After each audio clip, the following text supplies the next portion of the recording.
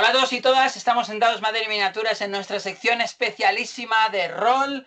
Hoy tenemos un invitado muy especial que seguramente ya habéis visto la entrevista del máster, pero hoy queremos profundizar, ahondar en su trabajo escrito sobre rol.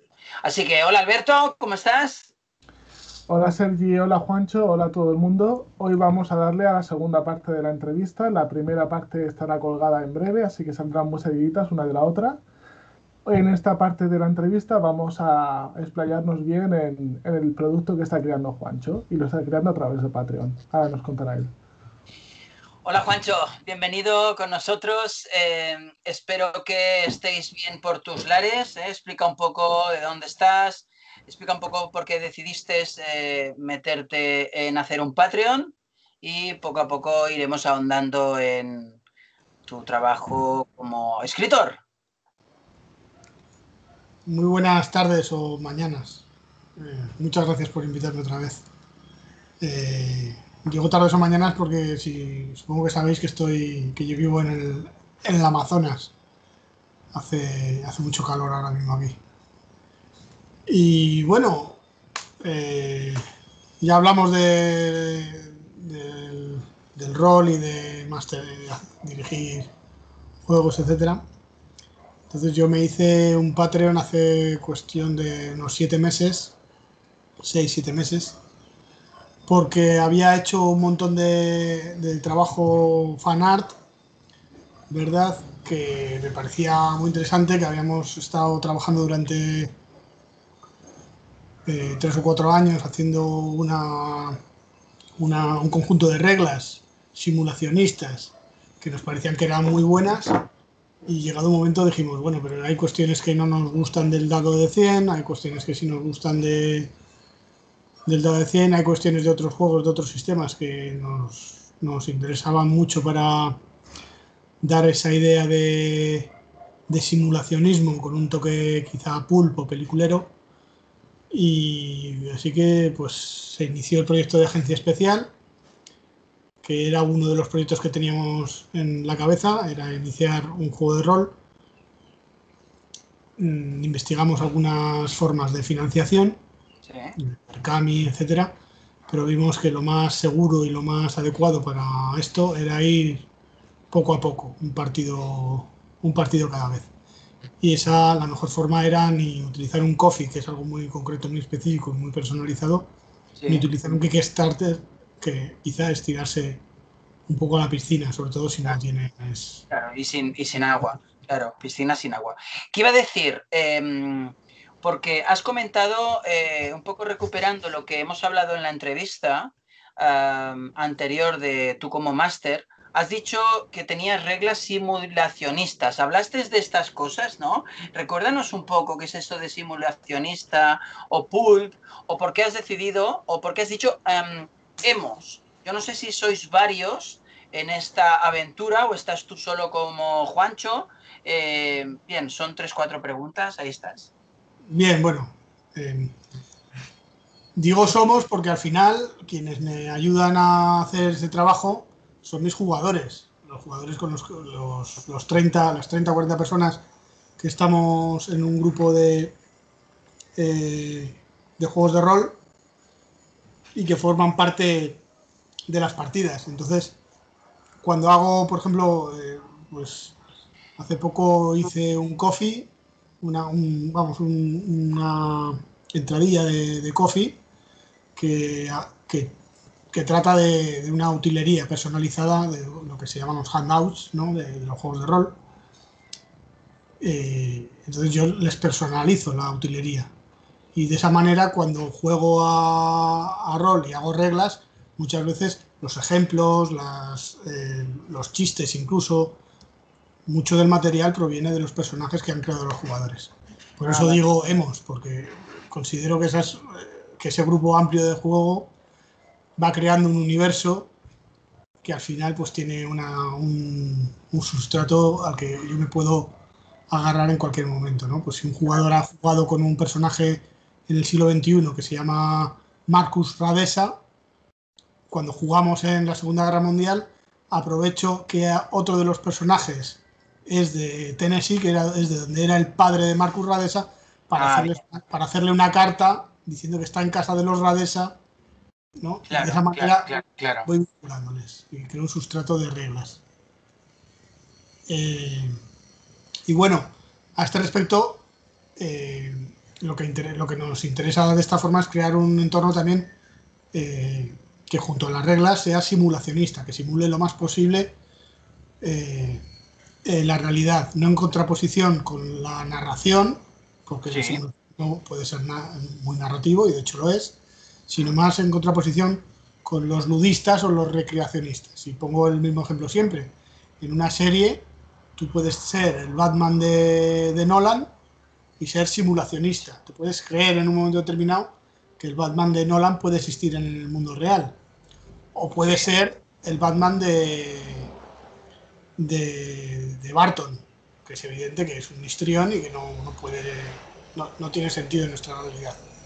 En el caso del Batman de Nolan sería simulacionista, en el caso de, del Batman de del otro Batman sería recreacionista o más ludista.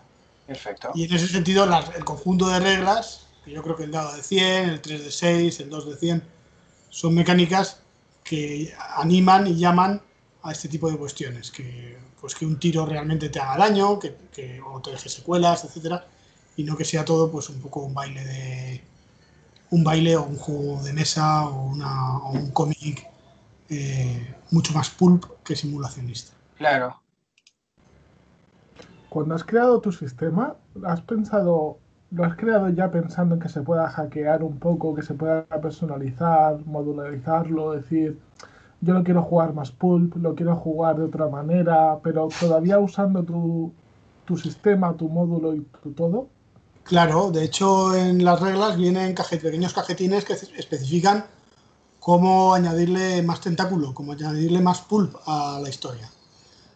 Eh, yo ya lo voy haciendo. eh, Estamos, hemos jugado Segunda Guerra Mundial muy cruda, pero hemos jugado también historias de policías mucho más ligeras. Hemos jugado también pulp puro duro, ¿no? muy aventurero Sí. y, e incluso hemos jugado pues temas temas sociales y, y muy muy muy del mundo real no hemos jugado años años 80 en España eh, una partida del estilo de prisa de prisa o, o- vamos, como si fuera una película española de, de acción o de, o de aventuras o de- del mundillo ese ochentero Qué chulo. y para, y para ello hay una serie de reglas que, bueno, se, se utilizan, se pueden añadir más o añadir menos de ellas. Y además, pues bueno, el- la ficha es bastante, bastante editable en ese sentido. Son dos o tres reglas que si queréis más tarde, pues las podemos, podemos hablar de ellas. Claro. Claro que sí. Eh, ¿Qué es Patreon? Eh, explícanos, porque tú decides que tienes todo un material, tienes un sistema y lo quieres ofrecer a estas personas que ya estáis jugando online, entiendo. Presencial ahora no podéis, evidentemente no podemos, casi nadie del mundo, pero eh, hace unos siete meses decides que lo presentas después de valorar diferentes opciones, pues lo lanzo en Patreon. ¿Qué es Patreon? Eh, vamos a enseñar un poco la página Pat- que antes. eh, sí, Patreon. A ver, a ver, sí. Dale, dale. Patreon es una plataforma. Una plataforma de. de creadores, de artistas, de, escritores, que se basa en la financiación colectiva de un proyecto. Eh, puede ser una financiación muy a lo bruto, de- definiendo, grandes, grandes tiers, grandes, eh, grandes paquetes de, trabajo, o y a, lo largo de muchos años, o puede ser simplemente mes a mes que cada uno de los patrones eh, ofrece o aporta una pequeña cantidad que puede, pues en mi caso va entre los 2 y los 4,50 euros. Sí. y a partir de, de ese momento tiene acceso a todo lo que hay publicado de ese, de ese nivel. Es decir, Bien. en el caso que está en pantalla, pues eh, caso abierto, Sí, caso abierto el primer. son, son una serie de, de módulos, de aventuras sueltas, que se van publicando todos los meses. Tienen entre 10 y 25 páginas Aunque hay excepciones y hay meses que pues, pueden, ser, pueden ser 40 o 50. Vale. Son aventuras autojugables. Entonces tú pagas los 2 euros y te llevas todo lo que he publicado. Y si te quieres quedar, pues el mes que viene te saldrá otra, otra aventurilla y te, la, y te la vuelves a quedar. En el caso de Patrones del Mal, pues es- eh, se hace de otra manera. sino- en este caso se va, es cada, cada seis meses eh, se publica entero uno de los, uno de los documentos. Claro. Y pagando los dos euros, pues te llevas lo que haya salido. Evidentemente todo esto eh, no es solamente lo que se ofrece, se ofrecen también pues, las entrevistas que hago, se ofrecen el material adicional, se ofrece eh, ayudas de juego, etcétera, que son gratuitas. Pero Claro. aparte están estos, estos tier que pues hay que ir eh, hay que ir desgranando. Y luego está la, la Y en principal. este, perdón, en este patrones del mal, en este patrones del mal, eh, son eh, que sería casi como un, un módulo, sería Son, o- son, son suplementos. suplementos. Sí, son suplementos. Son. eh, empecé pensando que lo mejor iba a ser hacer uno- un suplemento dedicado a los malos y otro a los buenos. Y bueno, aunque, aunque sí estoy en ello, pues lo- el primero que he sacado es, es uno dedicado a las, a las fichas, al conjunto de todos los, los arquetipos que se pueden jugar en agencia especial. Ah, bien. y lo he sacado que se llama protagonistas y ya está en físico porque esto lo que tiene es que una vez por ejemplo he reunido ya el documento de, de patrones del mal pues lo, lo saco en físico una vez he reunido el documento de los suficientes modulitos Sí. de, de caso abierto pues se puede re- se- todo lo remaqueto y se le puede sacar en un documento Claro, lo imprimes. Sí, sí, sí, sí, sí. Sí, está, se puede hacer por, por Lulu, que tampoco se gana mucho. La verdad, siempre prefiero que sea un- una calidad razonable con un precio también razonable. Y finalmente está esto de 450, que, Exacto. que es todo lo, te llevas todo lo anterior y además todas las reglas que van creando el, el juego Agencia Especial Vale. que es un de 100, que lo anterior tú puedes jugarlo con otro de 100 si te apetece, pero bueno, el, el, el patrón está hecho para que te metas en este, en este sistema y, y- y lo juegues, claro, si te apetece. Y todos los meses sale en este, en este tier, sale pues ese conjunto de 10, 20 páginas de, que conforman un- uno de los capítulos de Agencia Especial. Cuando termine el año se tendrán dos suplementos uno o dos eh, eh, documentos enteros de, de módulos de caso abierto, Vale. dependiendo de, de cómo sea de grueso el, el material final, y el manual de unas 200 páginas de agencia especial. Vale. En la, en la actualidad, si te coges el de agencia especial, te llevas todo y te llevas unas 350 páginas de material. es muchísimo. Claro. 450. Las, las reglas, digamos, básicas para jugar a lo que sería agencia especial, eh, ya, ya las ya las tiene un... Sí, están colgadas ya. Ya están colgadas, ¿no? Eh, Sí, sí, estoy, ahora mismo estoy con el capítulo 5, que son, es- son las, las reglas de la investigación. Vale, el, perfecto. el- el- el manual, pues eh, publiqué la introducción, publiqué la primera parte de el mundo, publiqué, Claro. Publiqué la parte de los protagonistas, de los personajes jugadores, de cómo hacerlos, etcétera. Ahí si le das a Show More, ahí, bueno, Sí, voy, voy. Ahora voy a, voy a darle, mientras tanto, para que no moleste. Para... Sí, aquí ya ha entrado. A ver.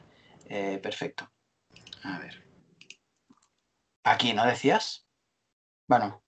Sí, aquí tienes... no sé dónde he ido. Bueno, eh, Le, el le Show More, eh, Sí, le he dado al... Mira, tiro atrás. dale atrás un momento. Mira, ahí, ves ahí pone Show More justo encima de Goals.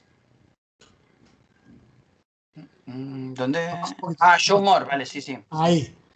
Ahí Ah, si te vale. fijas, vienen, vienen todos los descargables que Ah, se han ido hasta el momento. Entonces te dice si es gratuito o si es exclusivo para uno de los tiers.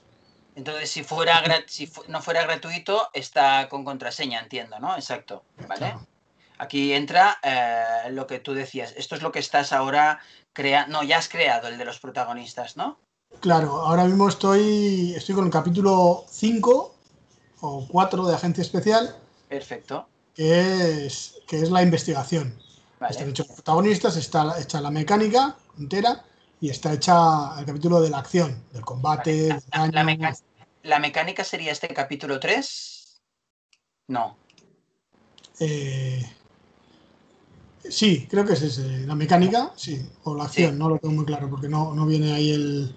Claro, el título. Bueno, pero ya se entiende. No, no comparto yo pantalla y yo lo enseño yo desde aquí. Eh, quería preguntarte, de los 22 mecenas que tienes, ¿cómo se distribuyen en las tres ofertas que tienes? ¿La mayoría están en la, de 4 y medio o cómo, la, la mayoría está con el de 4 y medio porque es el que realmente sale, sale mejor, porque te, lo llevas todo. Pero sí hay, hay dos o tres personas que solamente quieren los módulos. Pues oye, pues los módulos solamente. No pasa nada, pues todos los meses es como si te llegara la pequeña revistilla, el pequeño fanzine a tu casa de, Exacto. Material. Claro, claro. aquí tenemos la visión desde dentro de alguien que ha pagado. este es el último, lo último que he publicado, que es un pequeño, es un pequeño modulito eh, ligero para jugar una partida en la, en la Guerra Fría, ¿no? Se trata, como jugamos mucho por Telegram, se trata también de jugar un poco con estas nuevas formas que nos permite el audiovisual y el Internet, ¿no? de, poder jugar con varios equipos, con varios grupos, eh, buscando infiltrados, etc. Entonces, en este sentido, pues es, eh, hay un infiltrado en, la, en, la, en el conjunto de, de, agencias federales y secretas de los Estados Unidos y los jugadores, personajes jugadores, tienen que buscarlo y encontrarlo antes de que dé el golpe. Ah, bien. De hecho, Alberto me explicó, Alberto me explicó que se ha apuntado a uno de los grupos, ¿no? ¿Verdad?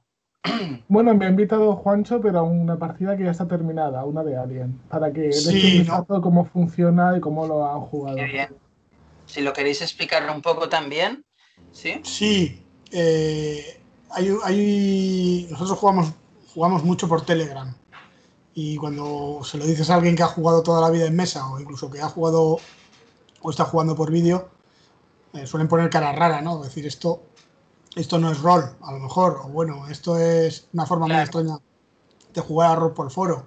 O lo que me han dicho muchas veces, no, pero es que yo juego por Discord o juego por no sé qué. no, tiene nada que ver, no tiene nada que ver porque lo que se puede hacer por Telegram y cuando se juega con intensidad es algo fabuloso. Entonces sí, si alguien quiere el, vínculo de, de, una partida ya terminada, de, no es de agencia especial, es de Alien RPG, que nos salió bastante interesante. Evidentemente no se tienen los chats específicos de los jugadores, por lo que no se ven las tiradas, pero casi mejor, porque lo único que se ve en ese caso es la narración. Es como si fuera una, narración compartida en base a unas tiradas que no se ven. Claro, muy bien, Juancho, si quieres lo añadimos en el vídeo. Sí, añadimos el link, ¿de acuerdo? En el vídeo. Luego lo paso, no hay ningún problema. Buena idea, buena idea. Sí, sí, sí. quería enseñaros una cosa más, y esto creo que va a ser la única vez que yo pueda decir que estoy por delante de Sirius Senra en algo.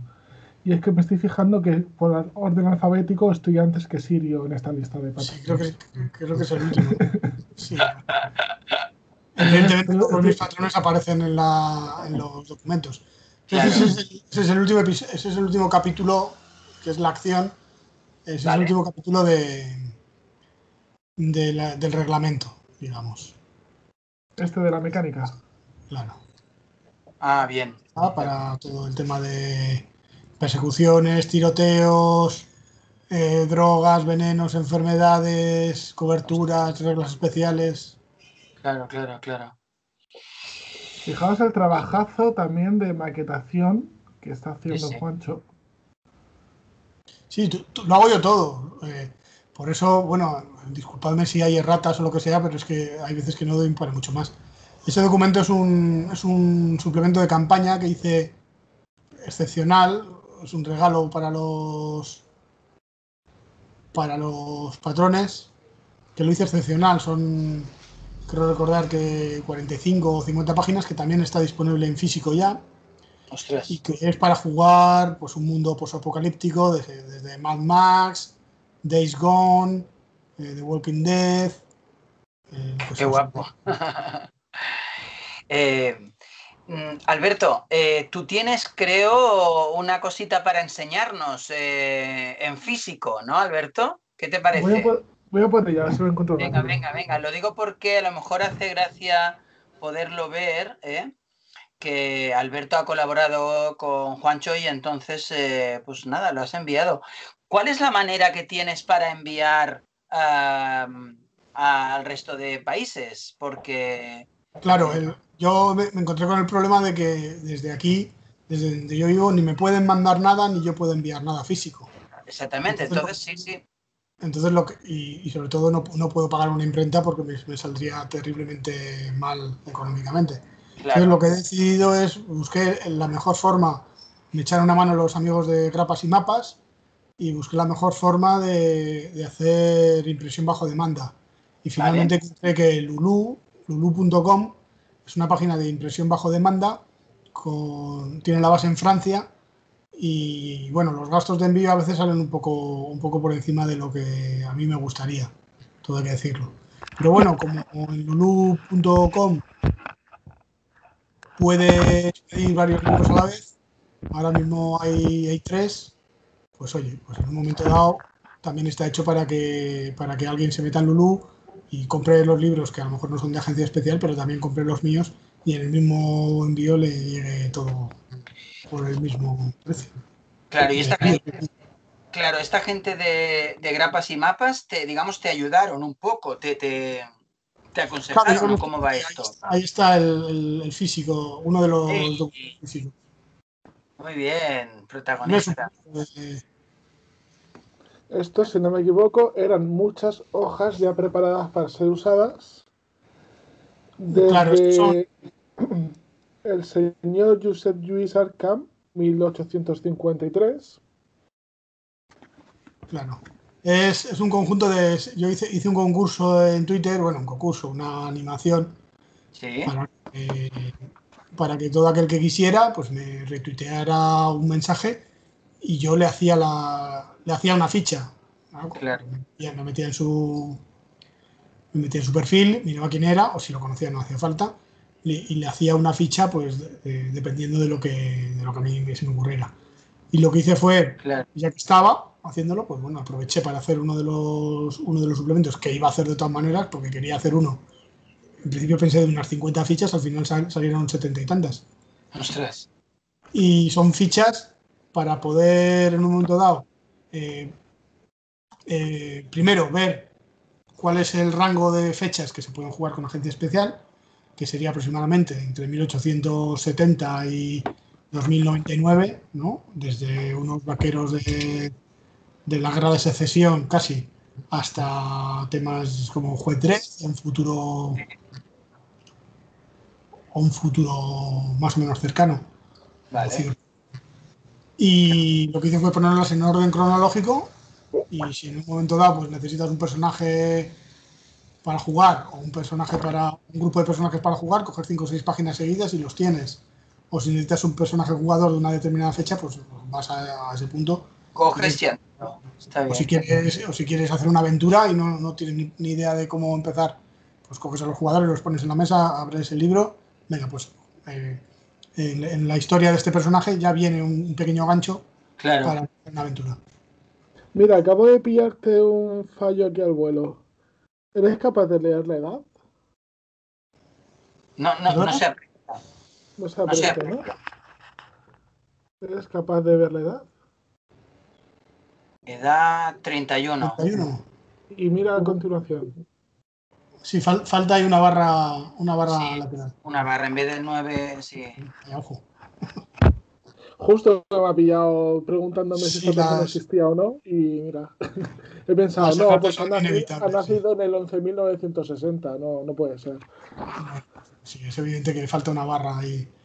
A veces pasan, pasan malas jugadas. El, al hacer la transformación en PDF me lleva muchos disgustos. Pero bueno, a la fuerza ahorcan y uno va aprendiendo poco a poco. Claro, no, desde luego. Y bueno, entonces el, el sistema de comprar un juego eh, contigo eh, es apuntarse al Patreon ¿Sí? y se lo puede descargar cada uno o pedirlo a Lulu o, o tú lo pides o cómo funciona para ir acabando. Exacto, ¿cómo funciona? Tú quieres el juego, pues lo que haces es te metes en el Patreon, te ¿Vale? apuntas y todos los meses te llega el material por el que has pagado. Y además te puedes descargar todo lo que hay. En este caso, las 350 páginas, los 7 o Claro. 8 módulos, el suplemento y hasta y la mitad del libro, que es lo que ya he hecho. Exacto, mira, es que O si quieres, o adicionalmente eh, te apetece tener el físico, o si quieres solamente el físico, pues te vas a la página de Lulu, ahí Sí. me buscas Juan Morán, ¿eh? Vale. Pues pinchas en Juan Morán Sí, y ahí te, te vienen los... Sí, si pinches sobre Juan Morán, eso es, eso es. ahí vienen los libros que, que hay, que es el de protagonistas, el... Estos golpes de rol, ¿no? Que hiciste. Sí, es raro porque se supone que hay otro que se llama... No hay más. Ah, vale, porque creo que tienes el- la restricción de edad puesta. Ah, vale, de acuerdo. Ese- Bueno, ese- el otro es... Sí, debes tener la restricción de edad, seguro. vale, claro. Claro, El otro es para todas las, de todas las edades, ¿no? Claro, no, el otro es que es para mayores de 18 Sergi, años, que te pide, Ah, te pide está. Lulu. Claro. Sergi, abajo a la izquierda, abajo del todo de la izquierda, show split. Ahí. Eh, estamos, sí. Ahí, pincha el cuadradito. Tendrás que ponerle 1980 o algo así, porque si no, no va a funcionar. Claro.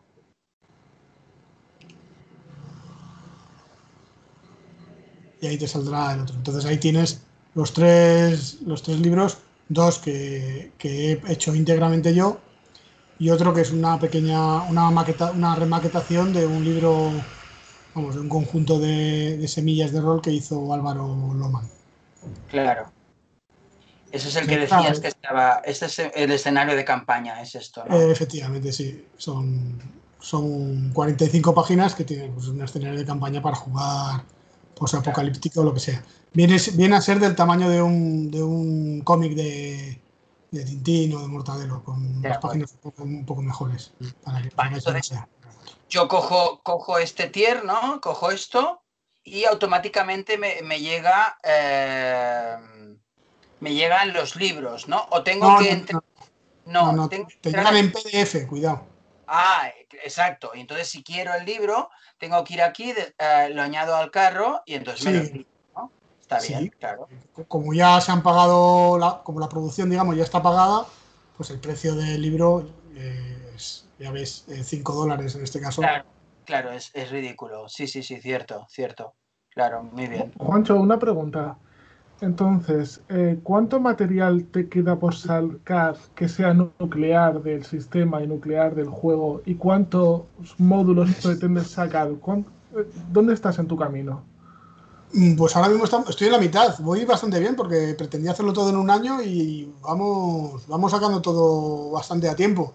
Bueno, la verdad que el mes pasado sí que, como, me ha- como los anteriores meses, me aceleré un poco, todo hay que decirlo. Y creé mucho más material de que, del, que, del que quería. El cronograma pues lo tenía un poco, un poco despelucado. Eh, sí, es verdad que, el, que el mes, el mes pasado me retrasé unos 10 días en hacer, en entregar el- tier de caso abierto, el, módulo. Claro. Pero ahora mismo, de las 200 o 250 páginas del manual, hay publicadas 90, creo. Bien.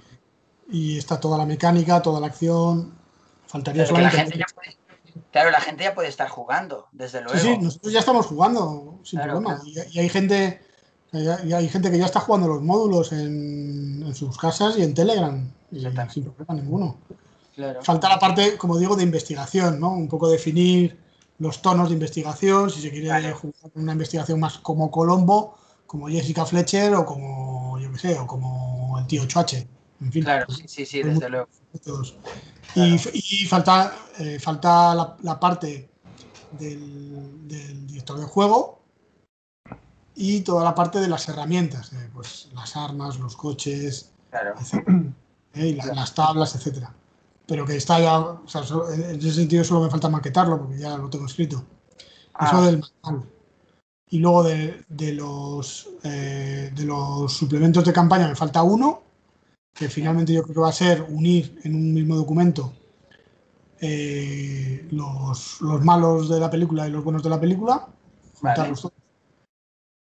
Y de los módulos, pues aproximadamente faltarán unos cuatro o cinco.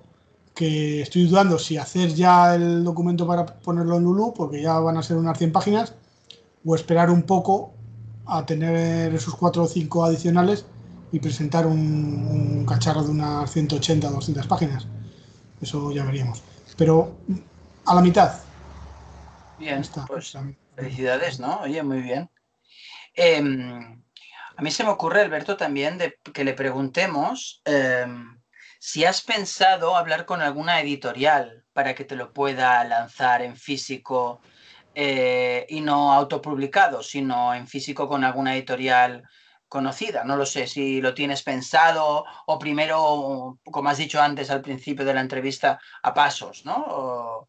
Bueno, voy a preguntárselo. Oye, ¿has pensado hablar con alguna editorial en lugar de estar autopublicando?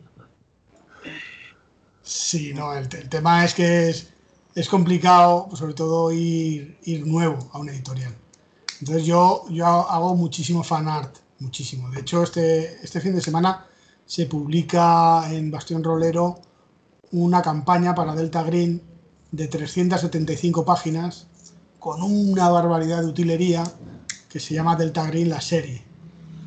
Eh, se publica este viernes ya, la ha ido publicando en fascículos, pero se publica una remaquetación vale. eh, hecha, hecha específicamente. Eso, cuidado, es fan art, no tiene licencia de ningún tipo, es decir, es simplemente por amor al, al arte, porque me comprometí con Bastión Rolero de hacerles cada mes, cada dos meses una aventura de Delta Green eh, basada en la campaña que, que, que, que, hemos jugado y rejugado. Vale, y lo has escrito tú, claro. Claro, y tengo otros muchos módulos de Far West, tengo otro que se llama Cantinos de Cuba, en, en Necio Freak, tengo, tengo, bueno, tengo un montón de material, ¿no? Entonces, claro, ahí está. Sí.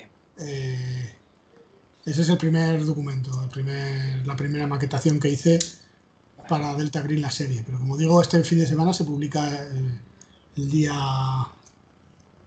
Un momento, no sé ni qué día es. Miércoles 21. Pues eso, el día 21 se publica el conjunto. Un documento de casi 400 páginas que, que te permite jugar una partida a Delta Green. Eh, no tanto como lo están haciendo jugar los, los creadores del juego, que a mí me da un poco de rabia porque diseñaron un juego para que diferenciase de, de, de la llamada de Chulu, ¿no? Diseñaron un juego en el cual podías llamar al ataque aéreo, podías ir en un avión o en un helicóptero y descargar unos marines sí. y luchar contra el Sogot y no sé qué. Y luego cuando te lees los la multitud de aventuras y, de, y que han sacado para Delta Green, pues te das cuenta de que no han hecho más que trasladar las mecánicas de investigación de la llamada de los años 20 a la actualidad. O sea, hombre, eso no era. Entonces, por eso hice la, la campaña de decir, bueno, oye, pues que, aparece un, un Raksasa, que aparece un Balrog, pues eh, tenemos misiles y, co y cohetes Sidewinder y, y, la Virgen en verso. Y tenemos un portaaviones y se lo tiramos a la cabeza. ¿no? Claro. Por fin podemos saber si gana un portaaviones al, al Balrog o, o qué. Pues ya está. Es lo que no. Es que me, a mí me da mucha rabia en Delta Green que pasaron esas cosas, ¿no? Que, que al final era, oh, pues viene el Sogot, todo el mundo a correr. ¡No! ¡No! ¡Mal! ¡Mal! Misilazo, misilazo. ¿Qué hace en esas condiciones? Se monta en un Harrier y va a buscar a la hija. Y le pega el misilazo Claro, ya, ya andando. Bueno, de hecho, en tu, en tu, sistema tienes reglas de cordura, reglas de salud mental. ¿Cómo tienes algo sí, esto? De hecho, de hecho eh, las cartas que he enviado hoy en el coffee, o sea, que he puesto en el coffee como utilería, son las cartas que mandé ayer a los amigos de que estamos jugando la campaña, una campaña de agencia especial centrada en la Segunda Guerra Mundial. Ellos están jugando como si fuera la serie Hermanos de Sangre o de Pacific, pues están jugando los Rangers. Los Rangers del ejército de los Estados Unidos. Sí.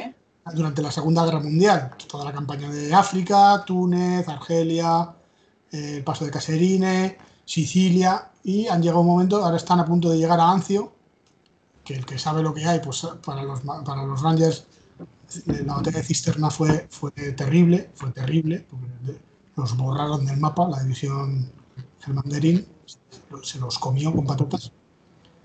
Entonces, justo antes de iniciar esa, esa partida, yo les envié unas cartas muy emotivas, las tenéis en Coffee, en, en personalización y utilería, si queréis echarles un vistazo. Cada una de ellas personalizada, porque cada uno de los personajes tiene vínculos y tiene motivaciones. Vale. la, la cordura en el mundo real no es tanto que aparece un Sogot y, y adquiero agorafobia, ¿vale? Sino que ocurre algo muy, muy heavy para, para la, la mente que en un momento dado se puede quebrar. Pero al quebrarse no es que aparezca una- un, un problema mental, sino que yo lo que hago es, di- lo que he diseñado es una- un sistema que destruye las características psicológicas del personaje, como si fuera una herida grave que te ha dejado sin páncreas o te ha dejado cojo. En ese caso perderías fuerza. Pues si has, si has sufrido un accidente y has visto morir a todos tus, eh, tus familiares, pues posiblemente pierdas 10, a lo mejor 6 puntos de personalidad y adquieras trastorno, eh, eh, depresión severa o, o pierdes la voluntad, has perdido la voluntad de vivir o, o en este caso alguno de los personajes que ha sufrido mucho durante esta campaña, pues me estoy acordando de Holiday, uno de los personajes, tiene trastorno de estrés postraumático porque ha visto morir a varios de sus compañeros, ha fallado muchas tiradas de determinación, muchas tiradas de, de salud mental también, y bueno, ha perdido esa... Claro. Y estas cartas nos han servido para... eh, porque con los vínculos y las motivaciones también se hacen tiradas de determinación, de salud mental. Entonces, cuando uno de ellos ha, ha descubierto que un amigo de su infancia que se había listado con él ha muerto en Grecia. Bueno, pues tírame determinación porque la- el vínculo que tenías con este chico ha desaparecido. Entonces tienes que tirar y vamos a ver si, si baja la determinación, si baja la salud mental, etcétera. Interesante. Está ¿Y bien. las, y las heridas físicas y mutilaciones y tal? ¿Cómo funciona en tu sistema? El, el sistema es, eh, es, entre comillas, realista, en el sentido de que eh, un accidente o un tiro puede dejar fuera de combate al personaje para, para la partida o para el resto de la campaña con, con cierta facilidad, ¿no? Es decir, el otro día lo discutía con un, con un amigo, un disparo de pistola todavía lo puedes parar con, una, con un chaleco antibalas. Los chalecos antibalas están diseñados para parar un, un disparo de pistola. Pero a 20 metros un, un fusil, un rifle que está dedicado para... Mira, ahí salgo yo en, en- en mi trabajo real. Qué delgadito estaba ahí. Me me da la impresión de que, va, de que va a aparecer por ahí el teniente Willard y me va a decir que estuve genial en Wall Street. Entonces me pillo chiste, pero. En fin. Eh, todo esto es de la campaña, estáis viendo es de la campaña de Delta Green. Sí, sí, sí. Como decía, las heridas en, el, en Delta, en Delta Green, bien, perdona, en la agencia especial, eh, se producen y son leves siempre y cuando no superen la mitad de, la, de los puntos de vida del, del personaje. ¿no? Ah, Simplemente tienes un modificador, pues es un rasguño. Y se curan con cierta facilidad. Es decir, un, un puñetazo no te puede producir más de la. Es muy raro, a no ser que quieres un puño de acero o, o- o tener con una barra de acero. Es muy raro que, que el daño supere la mitad de tus puntos de vida. Entonces es muy difícil matar a alguien a puñetazos. Se puede conseguir. Eh, si le haces el suficiente daño continuamente y, le su- y llegas al número de puntos de vida negativos, incluso a puñetazos los matas también. claro. Pero es, muy, pero es muy raro porque antes la persona se va a quedar inconsciente, etc. Y esos, esos daños son relativamente sencillos de, de curar. Se cura un punto de vida diario, con ciertas tiradas, en ciertas condiciones y ya está. Pero si el daño que se produce supera la mitad de los puntos de vida originales, se produce una herida grave. Y además eh, se puede producir una herida permanente, un daño permanente. Pues un disparo te puede producir cuatro puntos de daño y no superar la mitad, y bueno, pues es un, es, es un disparo que, que ha, pasado en carne y ya está, ¿verdad? Pues bueno, te cosen, te dan antibióticos y te curas. Pero un disparo que te da en el pecho, si supera los puntos de vida, la mitad de los puntos de vida, ahí te producen muchos más modificadores. Normalmente te tira al suelo y te deja conmocionado, no puedes actuar. Y no hay una forma en la que el, el- el personaje pueda recuperar de inmediato puntos de vida. No hay una, una caneca mágica de un líquido azul que te tomas y ya, y ya, otra vez y vuelves Ya a. está. Se acabó. Claro, sino que en ese caso tienes que hacer tiradas de aguante para ver si sufres una herida permanente. Es decir, si te han volado la rótula, por mucho que te instalen una rótula de plástico más adelante, vas a quedarte cojo y vas a perder, eh, según las tiradas, pues a lo mejor fuerza o coordinación o lo que sea. Claro. Te rompen la columna, pues por muy bien que te la arreglen, te han roto la columna y si tienes 40 años no vas a volver a tener una columna igual que la que tenías en- cuando tenías 20. Y en ese sentido, si sufres una herida grave, eh, es muy probable que mueras cuando llegas a, llegas a puntos de vida negativos. Cuando llegas a menos uno, ya es muy probable que, que mueras si has sufrido una herida grave.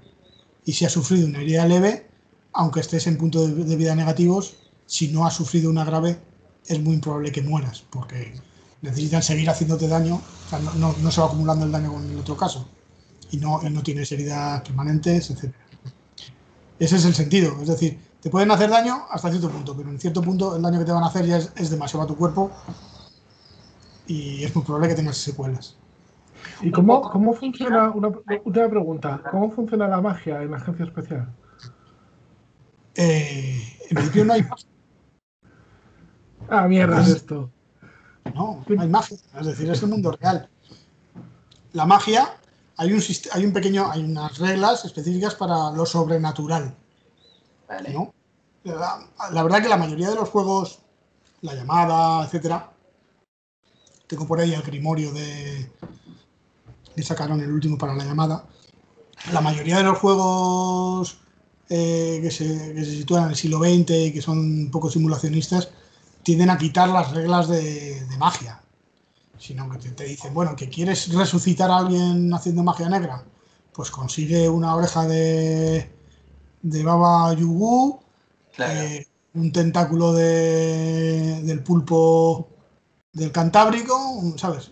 Y, hace, y luego coge, coge a 10 acólitos y pierdes eh, dos puntos de voluntad permanentes. Eso ya está. Y consigues que se aparezca Dagón o quien sea.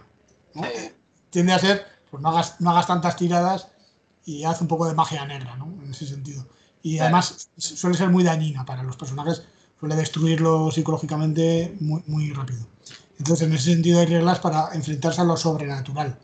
Ahí no tiras ni deter- no tiras determinación, que sería lo que tirarías en un tiroteo o en un accidente, sino lo que tiras directamente es salud mental y además es, son tiradas que te pueden tirar 20 puntos de salud mental al- al- al- a- de golpe y mandarte al paseo de los de los, de los incómodos directamente. O sea, puedes perder la cabeza si, si, se te aparece un, un, un alienígena en la puerta y te, te da los buenos días, puedes perder la cabeza de golpe.